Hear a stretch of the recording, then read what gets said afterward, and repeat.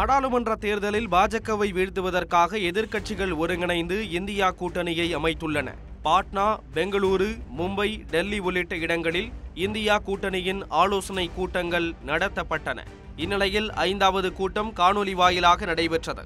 இதில் தமிழ்நாடு முதலமைச்சர் மு ஸ்டாலின் பீகார் முதலமைச்சர் நிதிஷ்குமார் காங்கிரஸ் தலைவர் மல்லிகார்ஜுனா கார்கே காங்கிரஸ் எம்பி ராகுல் காந்தி தேசியவாத காங்கிரஸ் கட்சி தலைவர் சரத்பவார் உள்ளிட்ட முக்கிய தலைவர்கள் கலந்து கொண்டனர்.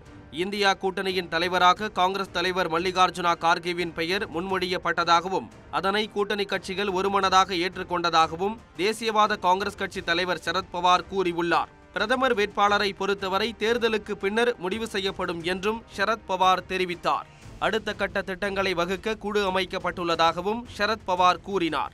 இந்தியா கூட்டணியின் ஒருங்கிணைப்பாளர் பொறுப்பை ஏற்க பீகார் முதலமைச்சர் நிதிஷ்குமார் மறுப்பு தெரிவித்து விட்டதாகவும் காங்கிரஸ் கட்சியைச் சேர்ந்த ஒருவரை ஒருங்கிணைப்பாளராகவும் இருக்க வேண்டும் என நிதிஷ்குமார் விருப்பம் தெரிவித்ததாகவும் கூறப்படுகிறது. தமிழ்நாட்டில் பொங்கலுக்கு பிறகு தொகுதி பங்கீடு பேச்சுவார்த்தை தொடங்கும் என முதலமைச்சர் மு ஸ்டாலின் தெரிவித்ததாக இந்திய கம்யூனிஸ்ட் கட்சியின் பொதுச் செயலாளர் டி. ராஜா தெரிவித்துள்ளார். Take up the seat sharing negotiations and conclude the negotiations. As early as possible.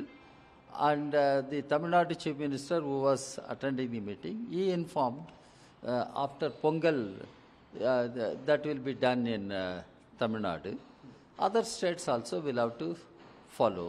அனைத்து மாநிலங்களிலும் தொகுதி பங்கீடு பேச்சுவார்த்தையை விரைந்து முடிக்க கூட்டத்தில் ஆலோசிக்கப்பட்டதாகவும் டி ராஜா தெரிவித்தார் ராகுல் காந்தியின் பாரத் ஜோடோ நியாய யாத்திரையில் பங்கேற்க கூட்டணி கட்சிகளுக்கு அழைப்பு விடுக்கப்பட்டுள்ளது இந்தியா கூட்டணி கட்சிகளின் ஆலோசனை கூட்டத்தில் மேற்கு வங்க திரிணாமுல் காங்கிரஸ் தலைவர் மமதா பானர்ஜி சமாஜ்வாதி கட்சி தலைவர் அகிலேஷ் மகாராஷ்டிர முன்னாள் முதலமைச்சர் உத்தவ் தாக்கரே உள்ளிட்டோர் பங்கேற்கவில்லை. இதனிடையே காங்கிரஸ் தலைவர் மல்லிகார்ஜுனா கார்கேவை டெல்லி முதலமைச்சர் அரவிந்த் கெஜ்ரிவால் அவரது இல்லத்தில் சந்தித்து பேசினார்.